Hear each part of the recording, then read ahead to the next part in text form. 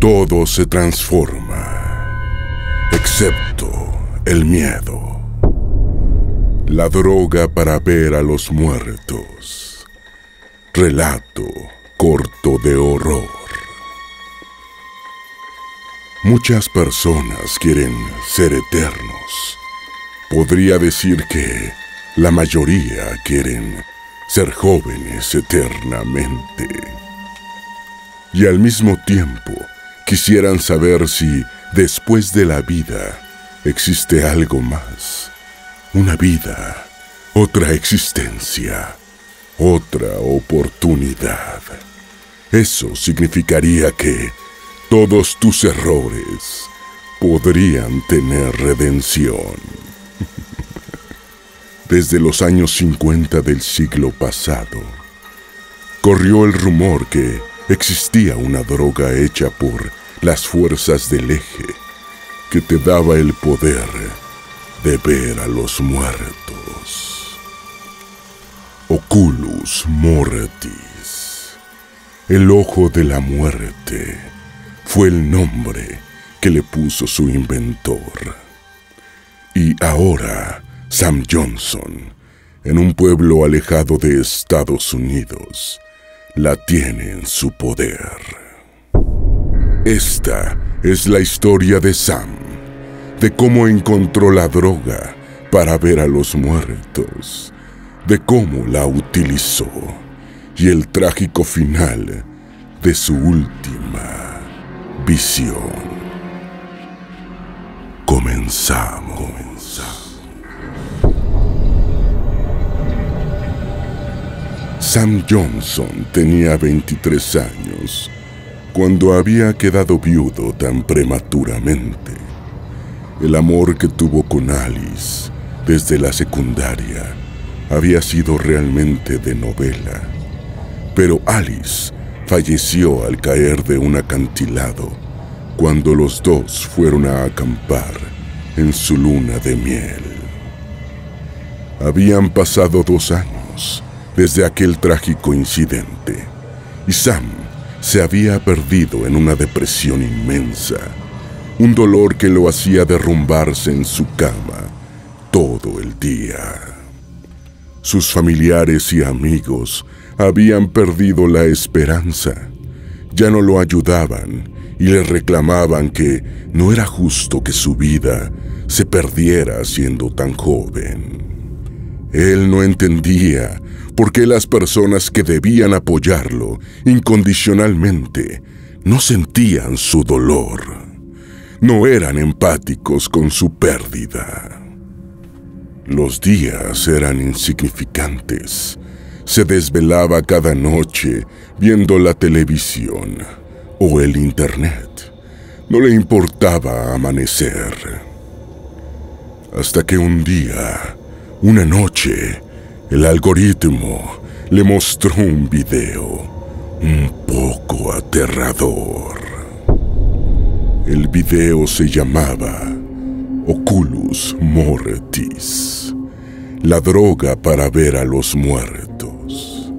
Eran imágenes perturbadoras, realmente repulsivas.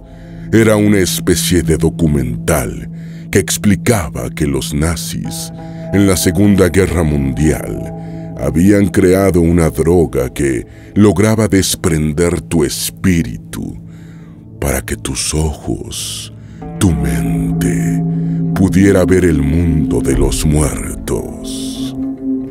Solo con esa información, Sam quedó atrapado.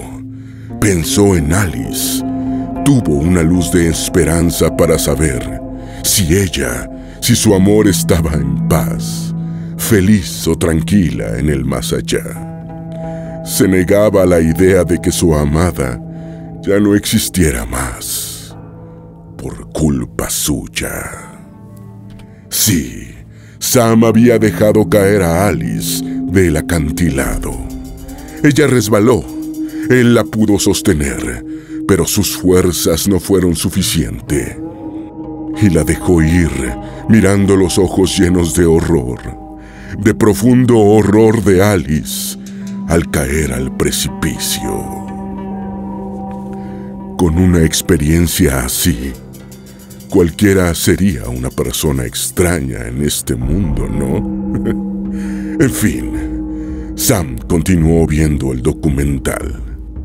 Al final del video, apareció un sitio web donde decía que si querías probar el Oculus Mortis, podrías comprarlo en dicho sitio web.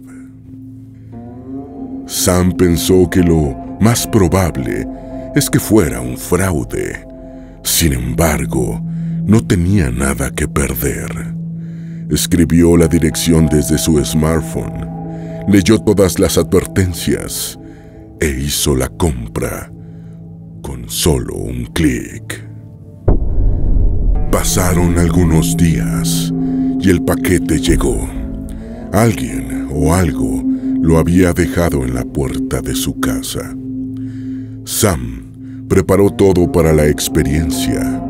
Había pensado todo lo que le preguntaría a Alice.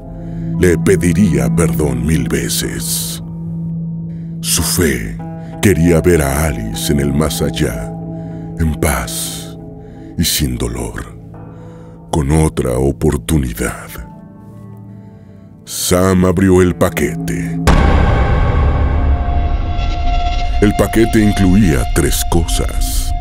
Unos anteojos extraños, una sustancia espesa en un frasco y una jeringa también un poco extraña. Las instrucciones eran precisas, las cuales no podemos mencionarlas para que este video no sea bloqueado. Sin embargo, sí puedo decirte, querido suscriptor, que la sustancia solo se puede utilizar una vez en la vida. Debe ser inyectada en tres etapas. La cantidad del frasco contiene tres dosis. Cada dosis debe ser inyectada en diferentes partes del cuerpo, en un orden específico la última parte donde tenía que ejecutarse la pócima macabra era en los ojos. No los tuyos, no en los ojos de Sam, sino del muerto que viese en el viaje. Esto, querido suscriptor, es una de las instrucciones más importantes, porque es la única manera de salir del mundo de los muertos.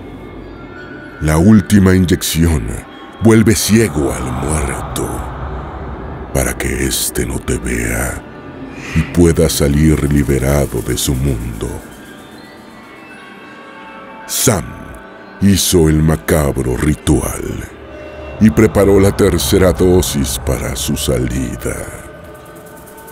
Al comienzo no sintió nada no vio nada, pero sintió que la atmósfera era otra. Era su habitación, pero de alguna forma no lo era. Pasaron los minutos, las horas, y comprendió que sí estaba en el mundo de los muertos, pero en su habitación no había ningún muerto. Era un mundo paralelo. Tenía que buscar a Alice. ¿Pero en dónde? ¿En el cementerio? ¿O en donde murió? Decidió ir al acantilado. El acantilado estaba en el bosque cercano a su casa. Habían comprado esa casa para vivir en su matrimonio. Ironías de la vida. Sam Johnson llegó en el punto más oscuro de la noche al acantilado. Caminó lentamente al punto donde soltó la mano de Alice y la vio.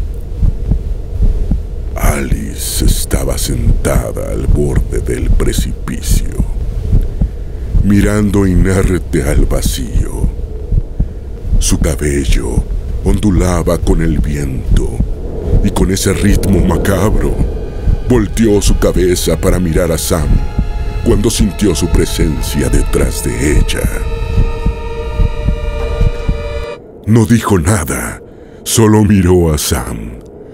Parecía que Alice, putrefacta, no tenía ninguna emoción, solo una mirada fija, muerta, zombie, aterradora. Sam no pudo resistir, a pesar de la escena más repulsiva de ver a, tu amada convertida en un cadáver putrefacto y roto. Se abalanzó en un abrazo hacia ella. Y Alice no reaccionó.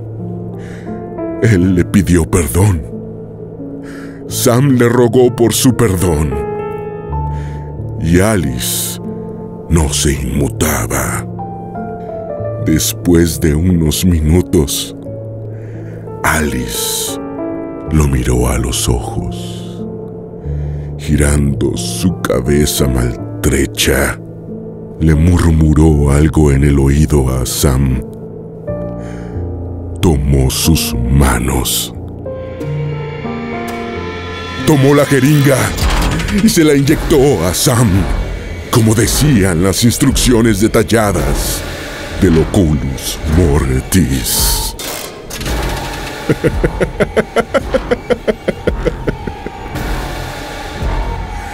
Sí, sí, querido suscriptor.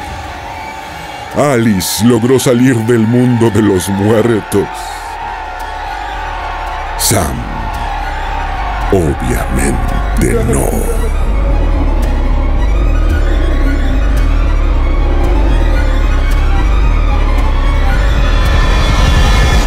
terror absoluto. Todo se transforma, excepto el miedo. Suscríbete al canal activando